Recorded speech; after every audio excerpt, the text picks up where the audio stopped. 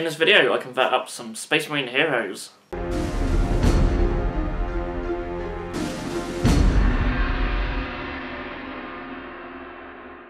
Hello Bits Brood, it's Craig from bitzbox.co.uk here. So yeah, in this video I'm going to be converting up some heroes from the Shadowspear box set and this time I'm going to be looking at some Space Marine heroes. So um, they're not going to be specific to any chapter or anything, but I'm going to convert them up using some bits from older sets. And that, much like we have done with some of the Chaos Space Marine stuff. And um, yeah, hopefully you guys like the results and I give you some ideas for your own conversions. So before we begin, if you are new to this channel, then welcome. And if you like all things hobby related and role playing related, then certainly hit that subscribe button. We put out roughly about two videos a week. And yeah, we sort of cover all sort of painting tutorials, conversion videos like this and more. So, also, before we begin, just a big shout out to all our patrons, and a massive thank you. Thank you so much for supporting our channel. Uh, if you want to know what our Patreon is all about, then there is a link down below. We offer free shipping on our website. We have bits bags that we send to people, so all the pledge levels are there if you follow the link. So yeah, let's get straight into it. Oh god, I over. Okay then, so we're going to change up these Space Marine Heroes from the Shadowspear box set. So I've got the Lieutenant or Lieutenant, however you wish to pronounce it, here and the Captain, and I've built them up, uh, as you can see, just legs, torso, backpacks. So we'll start with the Lieutenant. So, because they're in Phobos armour, there's not a lot of miniatures that have this type of armour. There is the Space Marine Reivers though, and I'm using some bits from them. So I have some from the actual snap fit ones, and I, I really like this knife sort of being held like a dagger there, and it's in the other hand to what he normally has, so that helps make him look different to the original. So these conversions are not going to be like massive changes, but enough to give you sort of new looking miniatures, make them more unique from the ones in the box, which is the purpose of these videos. Much like the Chaos videos, it's just a case of like, you know, you might end up swapping your half with a buddy and end up with two of the same. Say you're a Space Marine player and your friend's a Chaos player, you both buy a box each and you swap. Uh, a lot of people do that, so you end up with two lots of the same miniatures, and these videos are all about just trying to make them unique. Or you might decide to buy a box set twice and have loads of miniatures. So I'm just just filing down a little bit on the arm. There's a bit on the other side. Now, of course, these aren't snap fit, but they are sort of single pose miniatures. So you do have little bits and pieces here and there that do need filing off. But arm's going to fit on there quite nicely. Being from a Reivers, you have a similar type of shoulder pads and arms and such. So, I mean, there's nothing to say that you cannot use other Primaris Marine bits or regular Marine bits. But the, um, the Reivers suit the Phobos armour. And with the Phobos armour, you have this sort of smaller shoulder pad on the right arm. Now, we're not going to use this pistol. So I am actually just going to chop that off. And I'm going to take a bolt gun, just a regular bolt gun, but it's going to be used to represent his type of bolt gun. Uh, it's from the Sternguard Veterans. So I've got this one with a strap, which I really like. So having a scope on just makes it look a bit more unique to a regular bolt gun. So yeah, I know technically it's not the right type of bolt gun that he would carry, but it's going to look nice nonetheless, and that pretty much fits on the arm. Pretty good.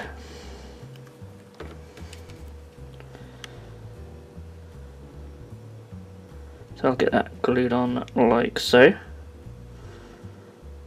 I'll try and get it glued on like so.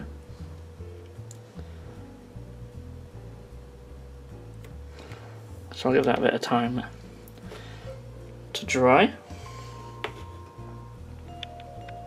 So, that's pretty much dried now. Also got a head now, took a head from the Reivers as well. Is like one of the bear heads with like a skull mask thing. I just really like the look of them, so. But, um, unlike the arms, you could literally have any type of head that you so wish. Any Space Marine head, Chaos Space Marine head, or if you so wish.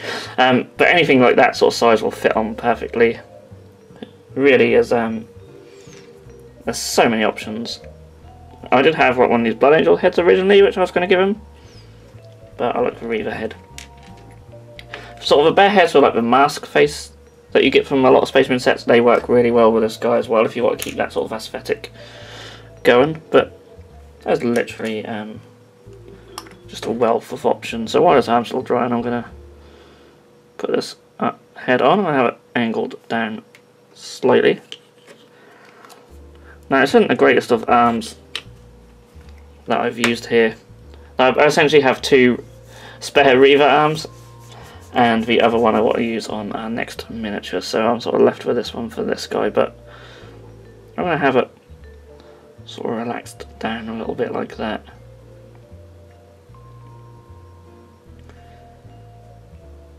And yeah hopefully it'll stay in place. Yeah.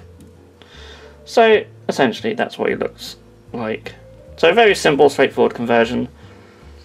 But I really like him I might angle his head down just a little bit more. Yeah, I like him. I really like this knife arm that you get with Reivers. I like that a lot. So that's him. So the captain, here he is. The first thing I'm going to do is get rid of this servo skull. Now, you might want to keep it, but I don't, so I'm just going to chop it. This is just to make him look even more different to the original one. So we get rid of that. And that's a big difference already. And I'm just filing his knee down to be a bit, bit more sort of curved because I just left a little flat area where it was cut. So, for this guy, now I really like his a original bolt gun, which I haven't prepared, so just chop that for smooth. But we're not gonna put it on the same arm. So I'm going to do what we did with the um, lieutenant, lieutenant guy, whose arm is sort of slowly slipping off off camera. There we go. And I've got this outstretched arm, so I'm going to give him an outstretched arm. So obviously first we need to get rid of this bit on here. Again, being sort of single pose miniatures, you have all sort of sorts of pegs and bits and pieces, so get rid of them. Also again, chop off the hand. Always come in from the side of that you're chopping off. That makes it a lot easier. And then we're going to take his, his really nice bolt gun variant and chop off the hand for that. And in theory this should fit on alright. Now I've actually got two two of the um, sort of wrist bits there, so I'm going to chop the wrist off this. Um, so you don't need that. But do this gradually, don't just come chopping in off the arm, I'm going to just do little bits. Or even just file it down to be easier, but just going to very carefully take that off. There we go. And that's going to glue on there quite easily and I'll glue it on him. So I'm going to do all that off camera and, and then I'll be back. So, oh, just adjust the camera slightly. Here's how he looks with that gun arm on. Pretty cool. So for his head, I've actually got one of these hooded heads from the Dark Angel set, the Veterans I believe. I thought it'd be quite cool. He's got his cloak. I want to have a hood as well. And again, much like the previous miniature, any head will just fit in here. So you have such such a wide option of um, options available. And a, a wide variety of options, that's what I meant to say, you know that's what I meant to say. But yeah, there's so many, so many Space Marine heads over the various ranges and box set, so you could put anything in here. They all fit perfectly, he says, as he struggles to put it in. But yeah, a hooded head looks pretty cool. And if you were collecting Dark Angels or something, then it would work really well, but I think it makes him look pretty damn cool. So I like that. So, what we're going to give him in his left hand then? Well, I'll let his head dry and then we'll have a look. Okay, so I'm not being lazy. I've used his original arm there, but I'm not to keep it. His head didn't really seem to take very well, but I'll put that back on at the end. but it's just easier to use the arm. I don't want to keep the hand. I hate pointing hands, especially um, if he's not even looking in the direction he's pointing. Reminds me of, um, I think it was the Assault on Blackreach Sergeant, just horrendous. So we're getting rid of that right away, that can go. Yeah, so everything seems to point in 40k and Age of Sigmar these days. Very few sets don't seem to have someone pointing somewhere, but I don't know. I don't like it. So, I'm actually going to give him a power sword. Now, I know he, in his rules, um, certainly at the time of filming this, he only has like a combat knife. But power swords look cool. I thought you could have it outstretched like that.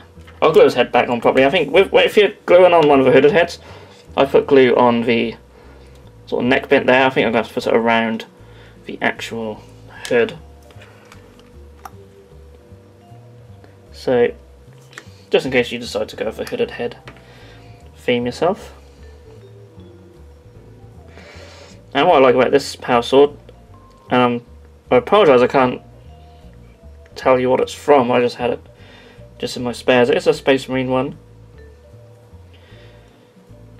But what I like about it is it's just angled slightly, so that's pretty cool. Let's um just get that head back on, that just did not take at all. And then that goes on. I like them to sort of look where his gun's pointing. I like that with miniatures. I think just add something to him. But yeah, he sort of has that more sort of ranger look about him now, which sort of fits in with the theme of the Vanguard Primaris Space Marines. I think that's quite cool. I mean, if you really want to, um, you could use this miniature with a hooded head as a basis for like a sergeant for the. Oh god, I forgot what I called the sniper rifle guys. You know what I mean and the Eliminators. But, but yeah, he works as a captain. So yeah, I'll let that head dry and then we'll take a look at both miniatures. Okay, so here they are in all their glory. I quite like using these sort of blue snap fit pieces because it makes it easier for me to recognise, and for you hopefully to recognise what piece has been added. But yeah, very simple con conversions, but they really sort of changed the miniatures and yeah, I quite like them. I think this guy looks pretty cool. I'm not a massive fan of the original miniature, I must admit. But he's come out right. To be fair, I'm not a fan of either of them that much, I suppose. But I love this guy's bolt gun though. I think it's awesome. So, oh, got a bit quirky. I apologise. But yeah, um, again, showing off that some of the older Space Marine stuff still very much compatible. You know, we've got an older head, hands, and that. So they do work. Yes, that hand is slightly smaller than the one he had there before, but it works very well. So yeah, really happy with how these turned out. Though. Just something different to the norm. So yeah, I hope the video gives you guys some ideas if you're thinking about converting yours up yourself. Um, people seem to like these conversion videos, which is really great. I absolutely love making them. So if you have stuck around this long, then thank you so much for watching. Um, if you have any suggestions what you'd like me, me to convert up, then please do leave comments down below. I'm really happy to take requests. I really do want to start taking more requests. So please, if you do have any ideas, as long as they're not something silly like converting up a Warhound Titan or a Warlord Titan even, just or any Titan, no Titans. But um, yeah, any sort of reasonable request, and certainly leave them down below, and I'll start compiling the list and cracking on with them. So yeah, um, once again, thank you so much for watching. I'll see you all very soon.